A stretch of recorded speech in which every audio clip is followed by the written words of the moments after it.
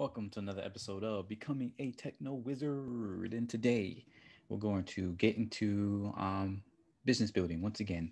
So, gonna finish or continue my research plan. Doubt I'm gonna finish it today, but um, let's just jump right into it, as the great Philly D says. All right. So last time we left off on my assumptions here, going over my assumptions for you know, um, what I figure I'm trying to learn, what I might be able to learn, and stuff like that. So today, I'm going to get into the rest of the objectives and goals. Um, so this is my old ones, old objectives. I might update this based on my new stuff here. But let's see what I have. So it says um, the research project is to learn more about potential customers who are looking for ways to improve their quality of life, but are not sure how to do so. This is a generative study with a more open ended approach to gathering information about the needs people have and how they currently go about solving them.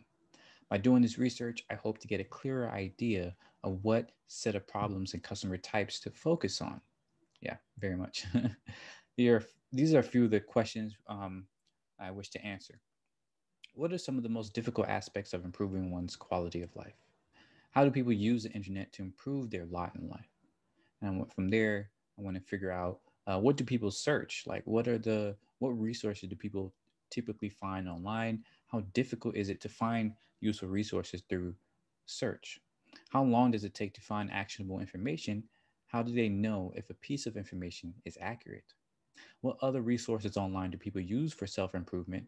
And how will they do? Um, how well do they or don't they work? Because again, much of this I want to figure out is because it's coming from my hypothesis that yes, you can Google anything today, or mostly anything, or generally a lot of stuff, but it's very difficult to know what is good, right? What is accurate, you know, what is helpful, um, and things like that. What is actionable and things like that, uh, and relevant for your specific situation. And so these are the types of things I want to know as well. Next, I want to ask is uh, what needs do people have? What needs do they have um, trouble fulfilling? So this is separate because um, you know people might have certain needs and they might be able to fulfill them or certain ways or be able to find things online, but certain other things they might not be able to fulfill. I think I probably didn't have to explain that. How effective are the current methods of solving one's own needs, one's own needs?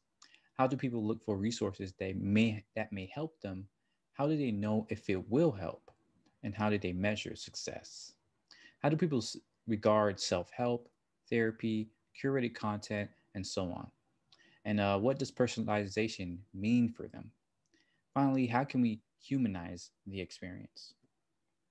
All right, so some added stuff that I added here, my own kind of update of this is kind of a simplified I guess it's more the objective rather than um, specific questions I ask. that's the problem with these. These are like specific questions, which is good and all, but I think it's it's nice to have this objective that I writ written down here. So I said, um, in order to find people who can actually help with this research, a screener will need to be uh, will be needed to filter out those who need help that we cannot offer at the moment. This includes specialized or immediate needs, such as for medical help or housing or food security because I would love to help these folks, but uh, to be real, it's like that that's not something you know that I have the personal resources to help with. Versus you know how people search online and things like that. Um, I can probably help design you know something around that. Um, at least currently. Later on, this will definitely change, but this is what I'm looking at right now. Just to set the scope, uh, we will need to find people who usually consume self-help content that need help with the following areas career help, such as finding careers rather than dead end jobs or skill building um, or networking. Habit building, such as removing bad habits, creating good habits, and being consistent or persistent. And finally, community, finding and connecting with healthy, diverse, supportive communities. Ideally, a generative research study with this audience would determine how to, pe- how to help people find relevant, actionable, high quality information based on a solid psychological foundation of behavioral change. So I hope that you know kind of sets the the scope for everything. So if anything, I might I might need to maybe put this at the top. Oh, that's what I forgot too. I need to get a simple research question.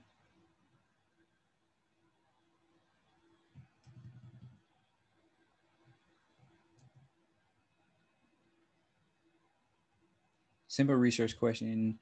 Go into my assumptions around that. Or maybe I can change my assumptions around, put that in the bottom somewhere. Um, and this is like the scope of what I'm trying to figure out. And then it gets into my research questions, the type of things I want to learn.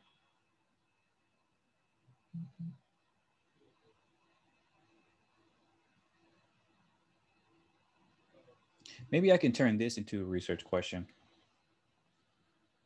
The research project is to learn more about potential customers who are looking for ways to improve their quality of life, but are not sure how to do so.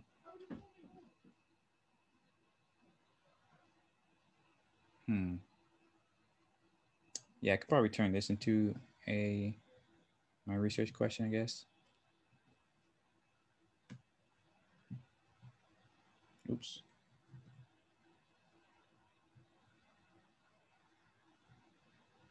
Actually, let's keep that down there just in case you want to. Okay, well, let me undo. Let me copy this again, or rather, sorry. Instead of cutting, let me copy. Put that down there. All right. Okay, so something like How can we learn more about potential commercial? Looking for ways to improve their quality of life, but not sure how to do so. I'm not sure if that's necessarily a good research question. Maybe it should be more like a hypothesis. Like, I don't know. We'll stick with that for now. Look at that later. Still learning how to do good research, but you know.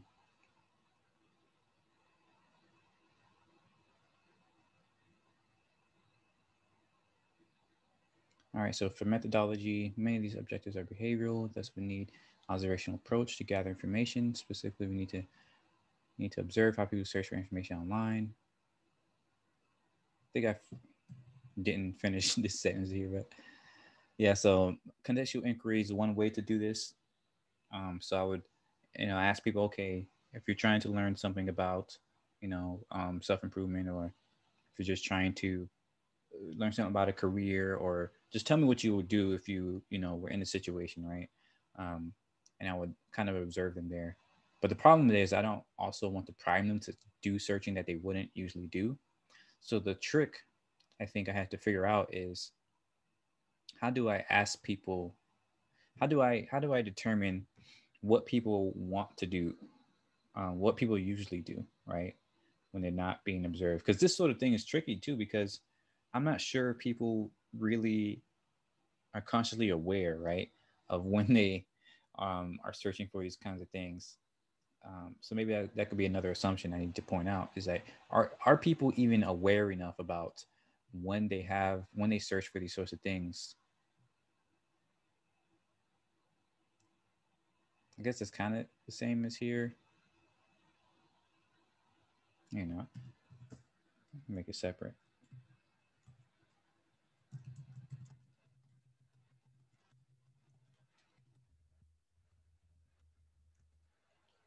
about um, what and when they research um,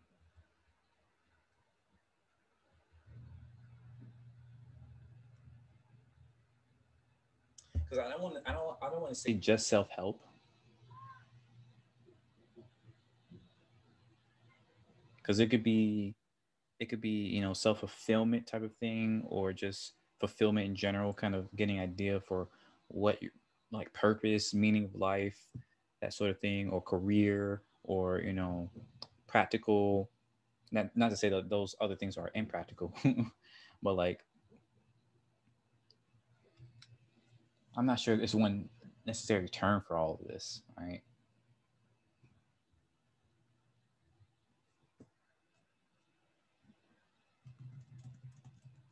I guess, improve their lives.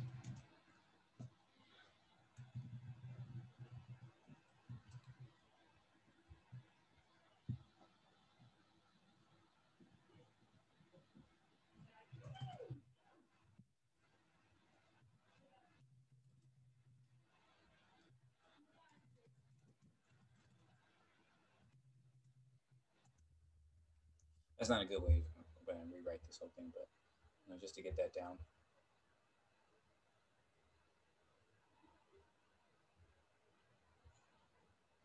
Semi-structured interview. So yeah, I want to get more information on um,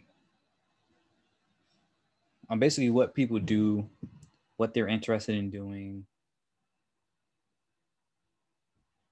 Try to try to get down to the detail as to why they do certain things, right? I think that's the purpose of it. That's a good use of a semi structured interview and why I would want it is because you can I could watch them do a contextual inquiry. But the problem is that I don't want to ask too many questions because that could change, you know, how they go about um, doing their searches or doing their uh, whatever they do in that in that process.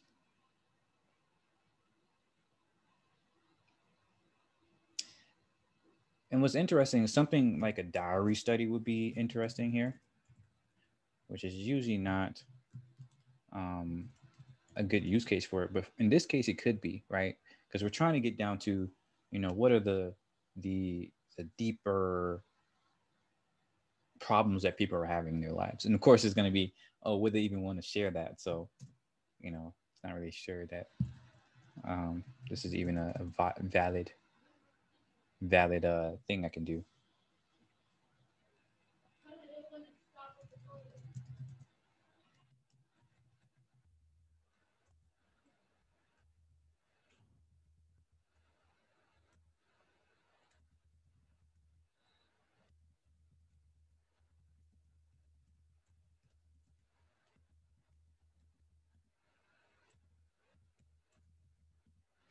Um, spelled diary wrong. Did I spelled diary? Um, close enough. um, another one I was thinking about is like a, what do you call it? A social media type of thing where you're looking at kind of like a sentiment analysis type of thing, looking at tweets or social media posts about, you know, people think, and this is more secondary research um, this is more, you know, just get some kind of background, um, qualitative, but sort of quantitative because, you know, by looking at social media, of course, there's going to be some bias as to the fact that people are reporting on things that they kind of want other people to hear in some way. So it's going to be a little bit, it's going to be a little performative, but in some other ways, it's also going to be, if you get a whole bunch of these, right? If you get hundreds or even thousands of posts about this sort of thing, then you can get a, a better understanding of how people are feeling or, you know, the types of sentiments that people have around the subject. So I forgot what the term is for that, but I'm going to say uh, social media sentiment analysis.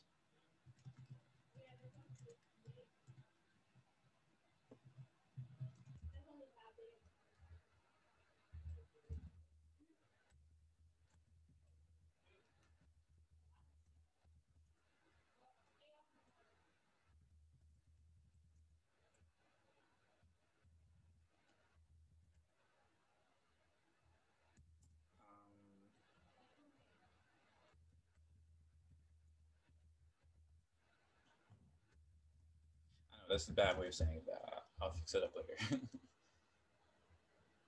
so yeah, I think that's a good start for this, you know, cyber research.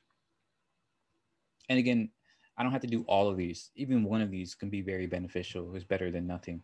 Contextual inquiry, um, or semi-structured interview, or this or that, right? So my my goal is going to be to shoot for either this or this, the semi-structured or the contextual inquiry.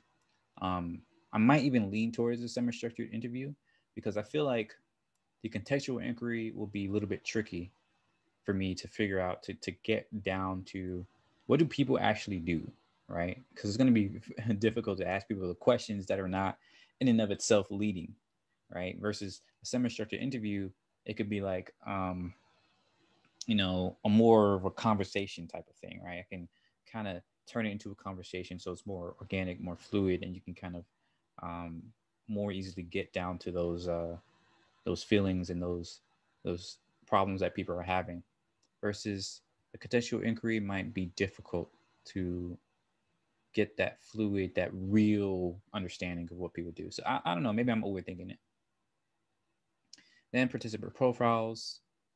So people that I want to interview once again. So yeah. Oh, there's my time.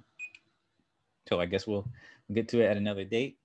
Um, 15 minutes, I'm telling you, it does it does feel short, but we'll stick with it for now.